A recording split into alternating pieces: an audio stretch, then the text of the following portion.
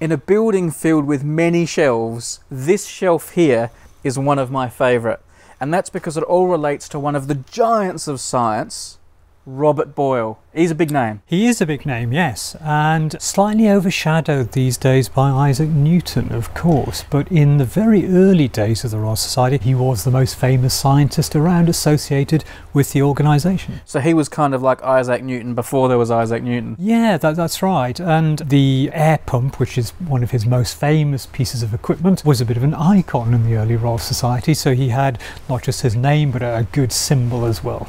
And anyone who did science, probably to high school level, will also have heard of Boyle's Law. And this shelf is really special because these aren't just Boyle's grand papers and his inventions. These are his personal notebooks. These are sort of Yeah. a very intimate part of him in a way, aren't they? And they're really interesting to look at. That's right. So he would just do day to day notes in these things. He would do drafts of articles or papers or books that he was working on. So it is very much the, the kind of working practices of Robert Boyle, which is, is rather good, I think. One almost doesn't know where to start and what to look at. It's a bit of a lucky Mm. dip, so we'll just take. Just, take just take one and, and see one what you shelf. find. I don't want to rip the paper, so I'll take my glove off. There's sort of all sorts of lists, almost like I half expect to find a shopping list here for milk and bread, and sometimes casual, sometimes formal. Yeah, well, look at this one here. So we got a, a little note here. It says an odd stone found in a shark at St Helena, weighed in air, gives you a weight there, and in water. So little shark stone there.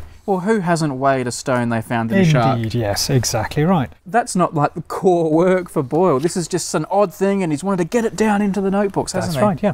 And we got something about magnetism. Of the magnetism ascribed to the terrestrial globe. Well, it's, a, it's an interesting list of things that he might think needed research, for instance. Like his, his wish list of Yeah, and a we, to do list. we, we do have that kind of to do list in the collection from him. Why are these useful? I mean, Robert Boyle was a famous scientist. Anything he did that was important has been published in Philtrans, and we know Boyle's law. I mean, it's not like there's stuff still to be found out. What point is there in keeping these scribbles and these half baked thoughts and things that may have come to nothing? I think it's exactly that. It tells you how someone thinks, how their thoughts develop, how their writings develop. So it isn't just the finished product, the printed item that you would normally see, but everything from tenuous beginnings of an idea through its working until a final version, along with his spills. Look, he spilled something on there, didn't he? A bit of coffee, maybe? Having a latte? Probably more likely something in the lab. Oh, okay, yeah, you're right. It's probably chemicals. There are a few original bindings here. Uh, you can see in these ones they would have been quite uh, beautifully bound in, in full calf. There's a bit of gilding in there, but you can see with these ones uh, there's quite a lot of wear on them. They are working documents, and therefore eventually bindings need to be either repaired or replaced. I like that there are all sorts of symbols here as well. I mean, are these foreign to you, these symbols? I have no idea what some of these mean. There'll be alchemical symbols, so Okay. If you see a kind of circle, the cross, and Mercury's probably one of those. So they're alchemical signs denoting particular substances. And uh, to make raisin wine, so there we go. Uh, so it's quite nice. Got raisin wine, things about tobacco, eggs. Maybe this is just his. Maybe this list. I think I think this could be a recipe.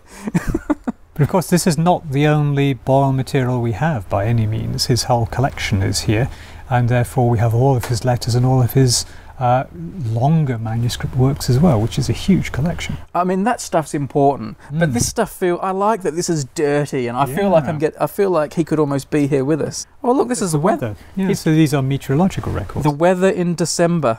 Foggy, dark day, moonlight but cloudy, foggy, foggy. Every hour or so, he's doing the temperature and the barometer, a really detailed description of the weather.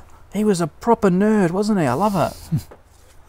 I quite like this one too, Keith, because this is some kind of catalogue of all the, the minerals and chemicals that Boyle had, what presumably in his private stash. Well, that's right. So um, some of the notebooks contain a record of the books that, that Boyle owned uh, at his death.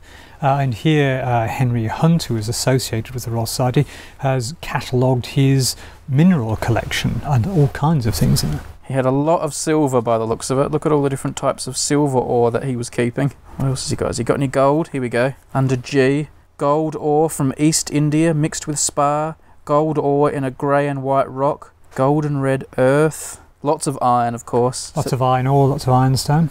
Okay, people, so there you go. Here we are, one of my favourite shows at the Royal Society. Basically, a, a snapshot of Robert Boyle's brain, and nicely bound to boot. And this is a special clock, isn't it, Keith? What is this? It is. This uh, you can see is by John Shelton. His maker's name's on the front, on the face of the clock there, and it has a Royal Society number on it, which means it's part of the 18th century Royal Society collection. And this particular clock uh, went round the world with Captain James Cook. This is Captain Cook's clock. Indeed, yes. HMS Endeavour, he took this timepiece with him, and off it went to Australia.